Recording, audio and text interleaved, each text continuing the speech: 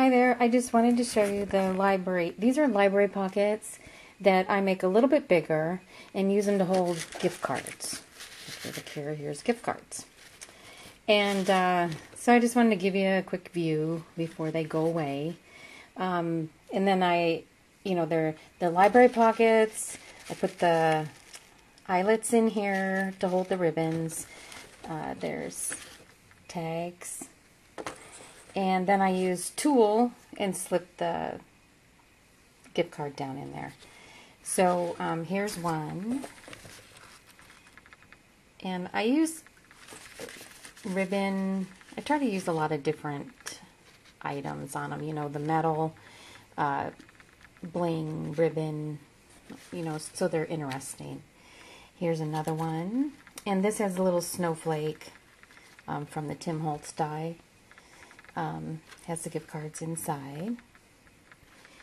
And this is the big snowflake from Tim Holtz. And then that's the washi tape that you put around. And I used decorative, and I was really liking that. Like this one has a green washi tape around the inside. And this one had this patterned one. I think it's Prima. Um, and then this is ribbon back here. And this is more of the washi tape that's right here. Um, this one has lace and ribbon, and then again one of those, uh, you know, Tim Holtz, the small snowflake die.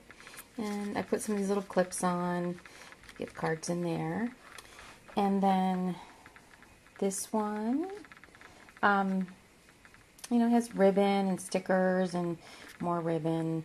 And this is a sticker from the, it's Cosmo Cricket is this paper line and I think it's actually a year old. And then I slipped in a little gingerbread man. I'm actually going to put uh, two in there because she has a couple boys. But anyways, there they are. Just wanted to share them before they go away. Bye.